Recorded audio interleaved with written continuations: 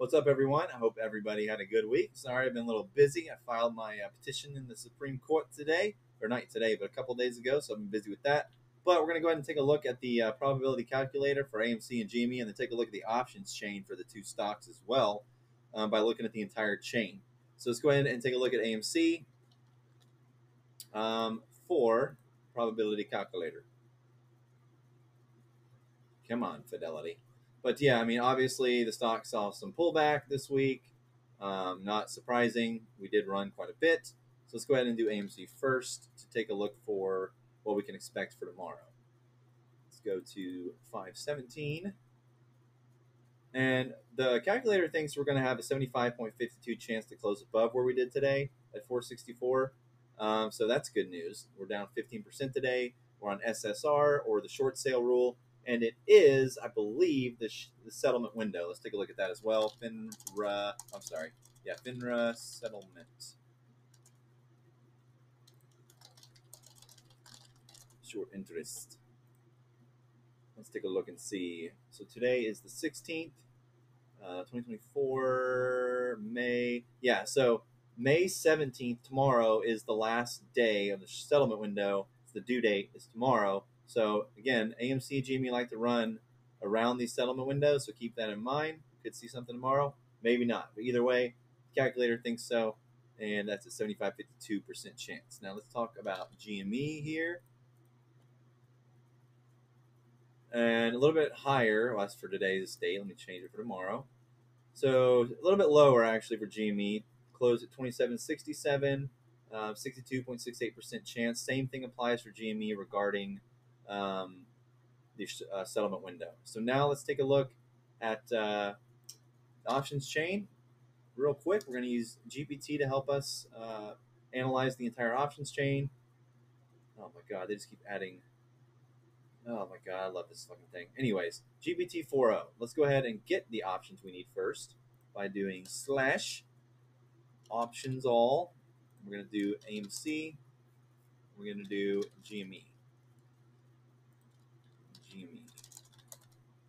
Let's go ahead and download these. Downloaded AMC and downloaded GME right there. Okay, now let's go back here and we're going to go ahead and load those. Oh my god, ah, it's amazing. This thing, I, just, I can't do it. Upload from computer. You can put your OneDrive in here. Oh god, and your Gmail or your G Drive. Jesus, Louise. Okay, so let's go ahead and do uh, GME's this one, so let's do this. Please analyze all options. Show volume to open interest across all expirations as well as profit potential. I've engineered a lot of data metrics on top of this, uh, on top of the default ones. So there's a lot of added metrics. So let's go ahead and take a look at some of this. Da, okay, doing the analysis for the open interest. And it's going to try to fix it because there's NaN values because some strikes got written today. Some new strikes, that is. Okay, made another error. Come on, Fora, what are you doing?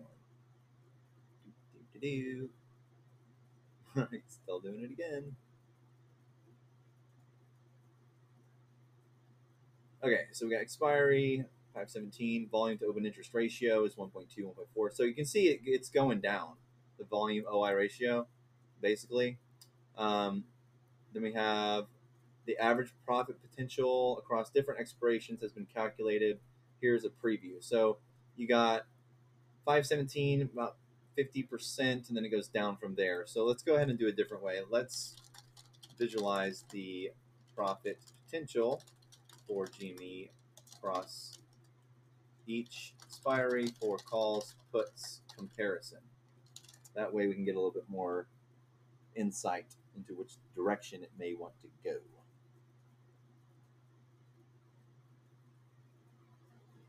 Analyzing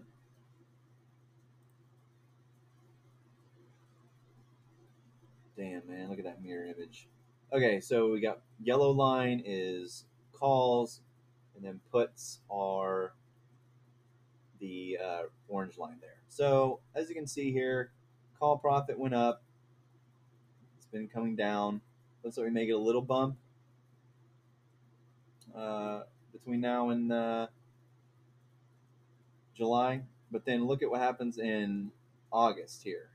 That's what's interesting, is because you have it basically down here near zero for calls, and then the calls skyrocket and the puts tank right here between late August into, I mean, really up until like late October. So interesting stuff there. So that's GME. Let's take a look at AMC now,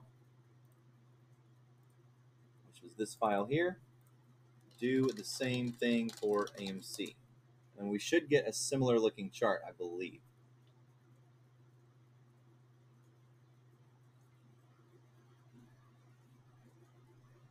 Yeah, look, the AMC options data has a similar structure to the GME options data. Very cool. Holy, okay, that's a little bit different. Okay, so wow, so it looks like here, 2024 December, AMC skyrockets. Good lord, very sexy. But yeah, I hope you found this video interesting. Uh, my grandma's calling me, so I gotta go. She probably needs help. So y'all have a good one.